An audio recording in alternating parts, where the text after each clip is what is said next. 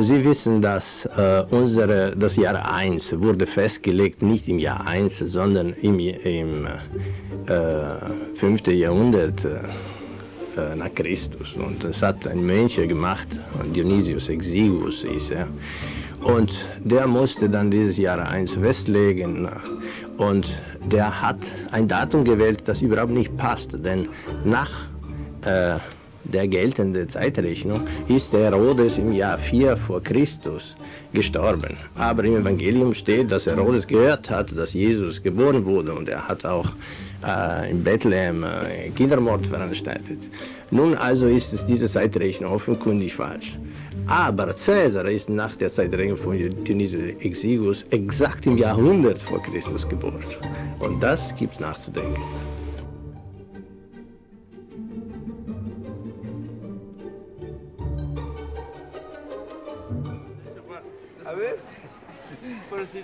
Das war das Bild von Caesar, das ich im Kopf hatte. Ein Condottiere, ein äh, Heerführer, ein knallharter Typ. Ja? Krieg, äh, Macht, so. Plötzlich sehe ich andere Cäsar, zum Beispiel diese hier, wo die Pietà, äh, sagen wir mal, die, die, ähm, die Clementia Caesaris betont wird. Ja? Die Cäsar als äh, jemand, der Mitleid hat für die Mitmenschen, insbesondere für seine Feinde.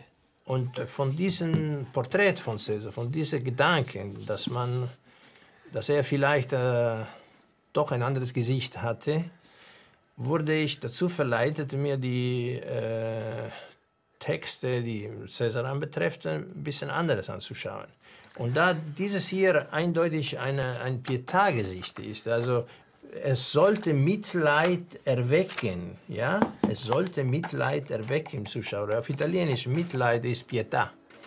Und die Pietà ist ein typisches christliches Bild, richtig? So.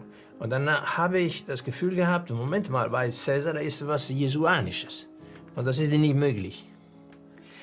Weil da sind ja zwei Personen, Cäsar und Jesus, die haben miteinander nichts zu tun. Er lebt in einer unterschiedlichen Epoche und unterschiedlichen Charakter. Der eine ein Feldherr und der andere ein äh, Barfußprophet.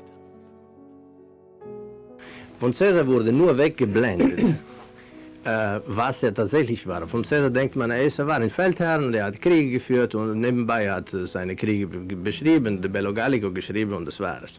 Wenn man jetzt Sie fragen würde, wer war Papst in Rom zu Cäsars Zeit? Würden Sie sofort sagen, das war Cäsar, denn er war Pontifex Maximus? Und wenn ich Sie fragen würde, wer war der größte Gott äh, Roms, nicht nur der Stadt, sondern des ganzen Kaiserreichs, von Britannien bis Syrien, als Cäsar starb, würden Sie sagen, es war Divus Julius, war Cäsar selbst?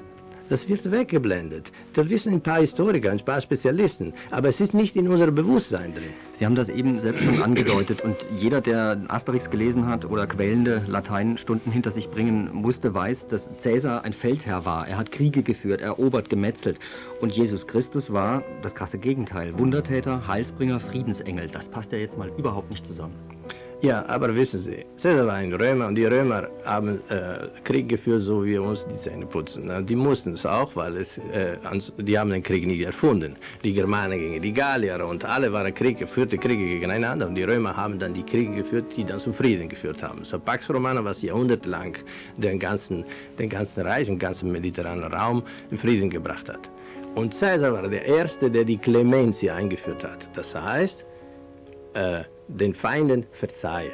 Er hat diese römische Besonderheit, nämlich nach dem Sieg die Feinde zu integrieren, um so römische Bürger zu machen, das in Rom Tradition hat, wirklich zur Spitze gebracht. Und selbst seine Feinde im Bürgerkrieg hat er wieder integriert, hat er ihnen verziehen, Amt und Würde äh, gegeben. Es war, wie er sagt, eine neue Art des Sieges, die Clemencia.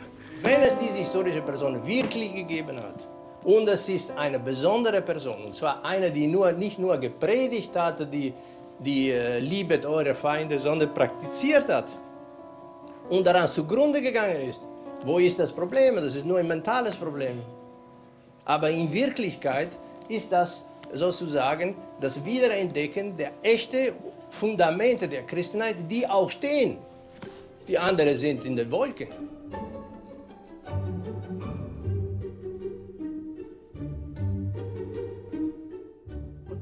Fing ich an zu vergleichen und äh, da steht, äh, schaue ich mir beide Texte in Parallel an und dann sagt, steht hier, Caesar war in Gallia, bevor er über den Rubikon ging. Und bevor er über den Jordan ging, war Jesus in Galiläa. Jetzt habe ich hier Gallia und hier Galiläa. Dann kommen sie beide in eine Stadt.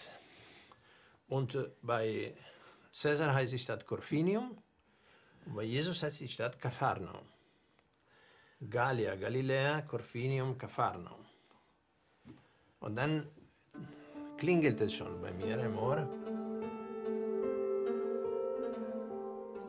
The accordances between the Caesar text and the later Gospels are striking. Different expressions and stories arose from copying mistakes in the transition from the Roman sources to the first Gospel. Original military terms thus receive new meanings in the corresponding passages in the Gospel of Mark. Wir haben hier die klassische Quelle, Velleius Paterculus. Diese Wörter äh, kommen vor auch im Markus Evangelium. Zwei Wörter kommen wörtlich eine identisch vor, Legiones und Legio. Eine in leichter Abwandlung, Monumentis und Monumentis, interessanterweise auch im selben Fall. Und das andere Wort Obsessis wird umgeschrieben, ja, mit Homo in Spiritu Immundo und äh, den anderen Requisiten der Belagerung. Siehst du, das ist es. Also, wenn bei Caesar Bithynia vorkommt, kommt bei Jesus Betania vor. Wenn bei Caesar Nikomedes vorkommt, dann hier Nikodemus. Wenn Maria und Maria, Longinus und Longinus. Mare Galli und Mare Galiläa. Pontifex wird im Pontifex, das heißt der Brückenmacher, und entsprechend der Zimmermann. Veni Vidi Vici, das berühmteste von Caesar, ich kam, sah und siegte, ist auch im Evangelium. Ich kam, wusch mich und sah, sagt ein Blinder, der von Jesus geheilt wird. Und wenn du hörst, ich kam, sah und siegte, und ich kam, wusch mich und sah, zwei Elemente sind da. Ich kam und sah, sind identisch. Nur das dritte Element ist anderes. Ich siegte und ich wusch mich. Für uns völlig unterschiedliche Dinge. Niemand von uns würde verwechseln zwischen Siegen und, und, und sich waschen. Aber ein Grieche kann es verwechseln bei der, bei der Schrift, denn das eine ist Enipsa und das andere ist Enikisa. Das heißt, sie sind fast identisch in der Schreibweise und auch noch ähnlich in der Aussprache. All the famous sayings of Christ are already found in the earlier Caesar text, with the same words in the same sequence. Man erkennt ganz schnell, dass die, die Lebensläufe der beiden parallel verlaufen. Ja? Äh, beide fangen ihre Karriere in einem Land im Norden an, äh, Caesar bekanntlich in Gallia und Jesus in Galiläa. Dann haben sie beide einen verhängnisvollen Fluss überquert, den Rubikon und den Jordan. Und dann kommen sie beide in eine Stadt, Caesar in Corfinium und Jesus in Capharnaum. Dann erkennen sie schon, dass die Strukturen ähnlich sind und dass die Namen sich entsprechen. Gallia, Galiläa, Corfinium, Capharnaum. Bis auf eine kleine Aussprache oder ein kleines Graphismus in der Schreibweise. Und wenn Sie dann das verfolgen und schauen, wie geht es dann weiter, dann läuft es weiter paralleler. Was macht Caesar in Corfinium, er findet die Stadt von den Pompeianern besetzt, also von seinen Gegenpartner im Bürgerkrieg, von seinen Widerstreitern. Und Jesus findet in Kapharnaum eine von einem unreinen Geist Besessener. Nun, besetzt bzw. belagert und besessen, sagt sich lateinisch gleich obsessus. Ja? Und wenn Sie die Schreibweise von Pompeius und von Pneuma, das Geist, äh, in Griechisch sich anschaue, dann ist es auch fast identisch. Nun war die Frage, hat er das eine Regelmäßigkeit? Geht es dann wirklich weiter? Und dann äh, habe ich geschaut, ob bei der nächsten Belagerung von Caesar der nächste Besessene bei Jesus gebe, ob es dies entsprechend weitergeht. Und man findet tatsächlich bei der nächsten Belagerung, Caesar belagert Pompeius selbst mit seiner ganzen Legion, Und er schafft es aber nicht ganz, weil er sehr sich in seine Verschanzungen hält. Und Jesus hat mit, wieder mit einem Besessenen zu tun. Der heißt Legion, er hat sie nicht, aber er heißt so, der Teufel, der den Mann besetzt hat. Und er hält sich in den Gräber. Nun, wenn man schaut, wie es lateinisch heißt, Verschanzungen und Gräber, das ist Monumenta, Verschanzungen und Monumenta, Gräber. Es ist schon wieder fast dasselbe, dasselbe Wort. Sie haben und eben, so weiter. Sie haben eben selbst gesagt, wenn man sucht, dann findet man. Und man weiß auch, wenn man sucht, dann findet man das, was man gesucht hat, was man finden will. Kann das nicht alles Zufall sein, was Sie eben äh, aufgeführt haben? Äh, man kann sagen, wenn man sie einzeln nimmt, ich komme von den Naturwissenschaften ursprünglich. Ich war Industrietechniker am Anfang und Computerfachmann. Wenn die einzelne Sachen nimmt, das kann Zufall sein, dass Gallia und Galilea sich entsprechen. Oder Corfinium und.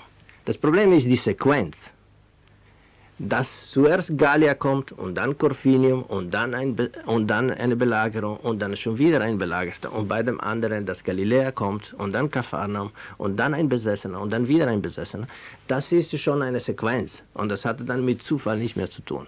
Das ist, man könnte, wenn man streng ist, sagen, das sind nur Indizien.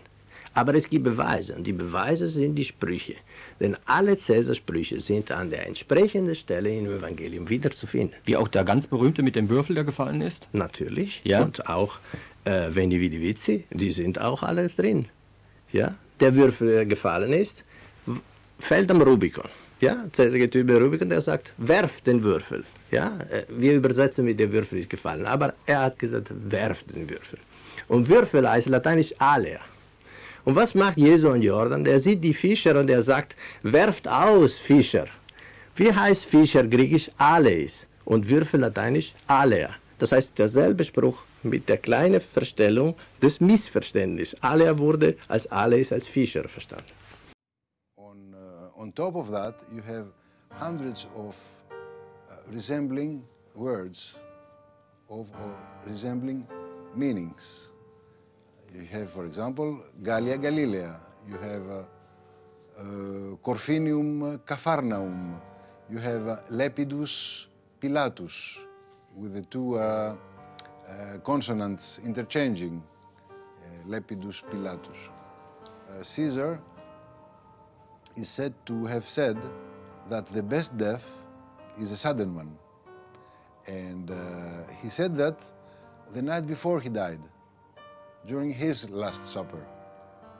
And uh, Christ, during his own Last uh, Supper, he said, well, I won't say uh, the Greek uh, terms, but uh, they mean what you have to do, do it quickly. Uh, the best death is a sudden death, said Caesar. What you have to do, do it quickly, said the Christ.